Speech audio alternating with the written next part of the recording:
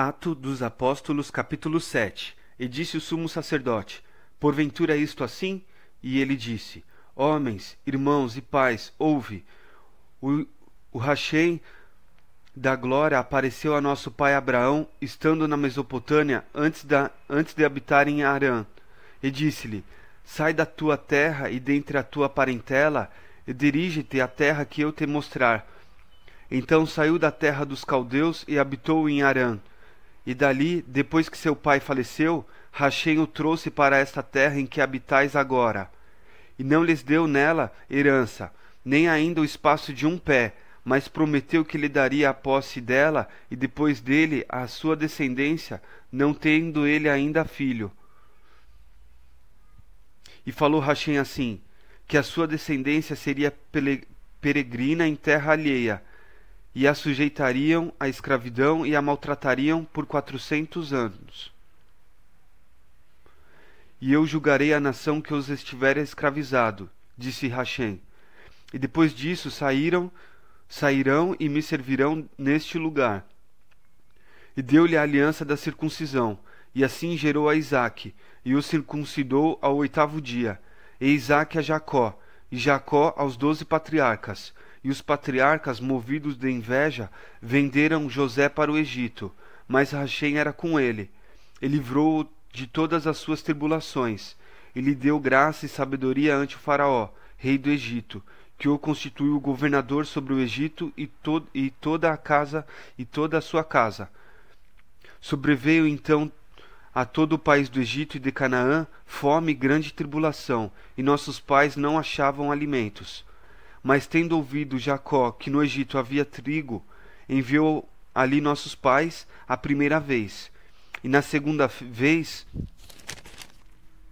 foi José conhecido por seus irmãos, e a sua linhagem foi manifesta a Faraó.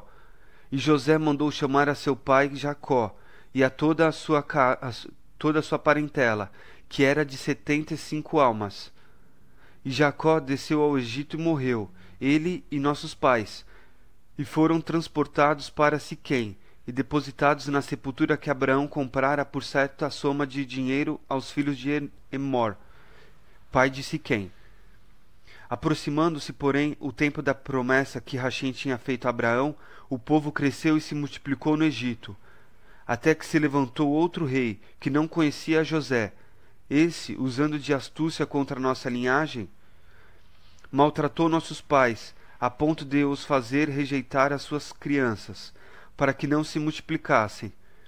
Neste tempo nasceu Moisés, e era muito, muito formoso, e foi criado três meses em casa de seu pai, e sendo enjeitado, tornou-a a filha de Faraó, e o criou como seu filho. E Moisés foi constituído em toda a ciência dos egípcios, e era poderoso em suas palavras e obras. E quando completou a idade de quarenta anos, veio-lhe ao coração ir visitar seus irmãos, os filhos de Israel, e vendo maltratado um deles, o ofendeu e vingou o ofendido, matando o egípcio. E ele cuidava que seus irmãos entenderiam que Rachem lhes havia de dar liberdade pela sua mão, mas eles não entenderam. E no dia seguinte, pelejando eles, foi por eles visto, e quis levá-los à paz, dizendo: Homens, sois irmãos, por que vos agravais um ao outro? E o que ofendia o seu próximo o repeliu, dizendo: Quem te constituiu príncipe e juiz sobre nós? Queres tu matar-me como ontem mataste o egípcio? E a esta palavra fugiu Moisés, e este, como estrangeiro na terra, esteve como estrangeiro na terra de Midian, onde gerou dois filhos. E completados quarenta anos, apareceu-lhe o anjo de Rachem no deserto do monte Sinai, numa chama de fogo no meio de uma sarça.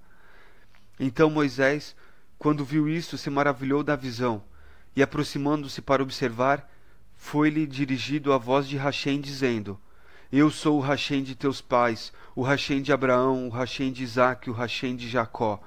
E Moisés, todo trêmulo, não ousava olhar. E disse-lhe o Rachem: Tira as alparcas dos teus pés, porque o lugar em que estás é terra santa. Tenho visto atentamente a aflição do meu povo que está no Egito, e ouvi os seus gemidos, e desci a livrá-los. Agora, pois, vem, enviar-te-ei ao Egito. A este Moisés, ao qual havia negado, dizendo quem te constituiu príncipe e juiz, a este enviou Rachem como príncipe libertador, pela mão do anjo que lhe aparecera na sarça. Foi este que os conduziu para fora, fazendo prodígios e sinais na terra do Egito, e no Mar Vermelho e no deserto por quarenta anos. Este é aquele Moisés que disse aos filhos de Israel: O Rachem, vosso Deus, vos levantará dentre vossos irmãos um profeta como eu, a ele ouvireis.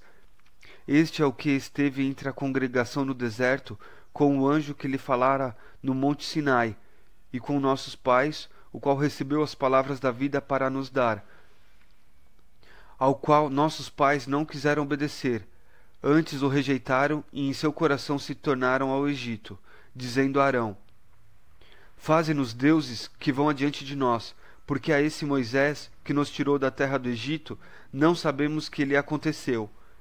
E naqueles dias fizeram um bezerro, e ofereceram sacrifícios ao ídolo, e se alegraram nas obras das suas mãos.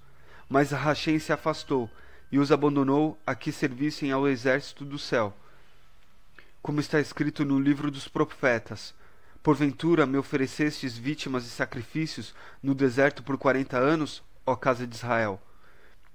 Antes tomaste o tabernáculo de Moloque e a estrela do vosso Deus Refã, figuras que vos fizestes para as adorar. Transportar-vos-ei, pois, para além da Babilônia. Estava entre vossos pais no deserto o tabernáculo do, do testemunho, como ordená-la aquele que disse a Moisés que o fizesse segundo o modelo que tinha visto o qual nossos pais, recebendo-o também, o levaram com Josué quando entraram na posse das nações que Rachem lançou para fora da presença de vossos pais, de nossos pais, até os dias de Davi, que achou graça diante de Rachem e pediu que pudesse achar tabernáculo para o Rachem de Jacó. E Salomão lhe edificou casa. Mas o Altíssimo não habita em templos feitos por mãos de homens, como diz o profeta. O céu é o, é o meu trono, e a terra o estrado dos meus pés. Que casa me edificareis? Diz Hashem. Ou qual é o lugar do meu repouso? Porventura não fez minha mão todas as coisas? Homens de dura cerviz, incircuncisos de coração e ouvido, vós sempre resistir aos, aos Espírito Santo. Vós sois como vossos pais. A qual dos profetas não perseguiram vossos pais? até matar os que anteriormente anunciaram a vinda do justo, do qual vós agora fostes traidores e homicidas. Vós que recebestes a Torá por ordenação dos anjos e não aguardastes. E ouvindo eles isto, enfureciam-se em seus corações e rangiam os, e rangiam os dentes contra eles.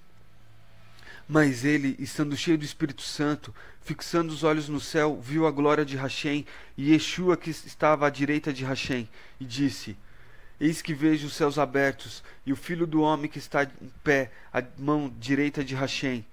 Mas eles gritavam com grande voz, taparam seus ouvidos e arremeteram unânimes contra ele, e expulsando-o da cidade o apedrejavam. E as testemunhas depuseram as suas capas aos pés de um jovem chamado Saulo. E apedrejaram a Estevão, que em invocação dizia: Salvador Yeshua, recebe o meu espírito. E pondo-se de joelhos, clamou com grande voz: Salvador, não lhes impuste, não lhes imputes este pecado. E tendo dito isto, adormeceu.